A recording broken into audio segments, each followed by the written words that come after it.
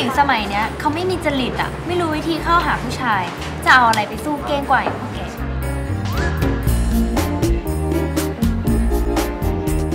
ผู้หญิงอย่างแกอะก็เก่งแต่ทฤษฎีแล้ววะ